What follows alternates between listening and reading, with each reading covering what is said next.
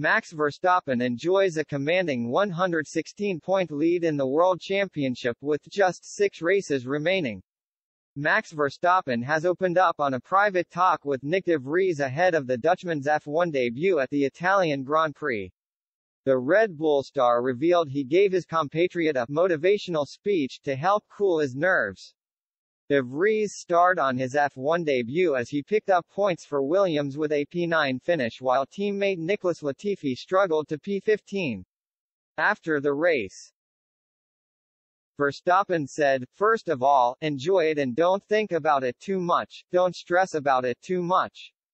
I remember my first one, it happens so quickly everything but I think more probably if you just tell yourself well see what happens instead of really stressing out. I need a good start. I need a good first lap. You should NT think about that and I think he handled everything really well of course. But yeah, it's nice. We know each other really well so it was just a quick little motivation speech. Verstappen congratulated De Vries after the race with the pair spotted embracing in Parc Ferme.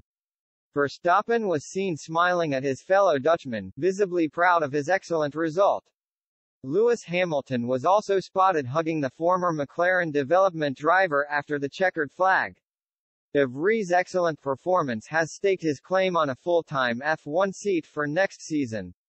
With five teams yet to announce their driver lineups, De Vries still has an opportunity to impress. It is understood De Vries is among several drivers set to take part in a special test with Alpine to help finalize their 2023 team. Williams boss Jost Capito also has high expectations of the young Dutchman and could be tempted into signing him for next year. After the race in Monza, Capito said there was nothing else to do for De Vries to stake his claim to a seat. However, De Vries admits race performance is often not enough to merit an F1 seat. He explained, I think this weekend has been a good performance, but we're always expected to perform and do a good job and it's not up to me to decide any driver lineup. This world is very volatile and it's not only merit that counts.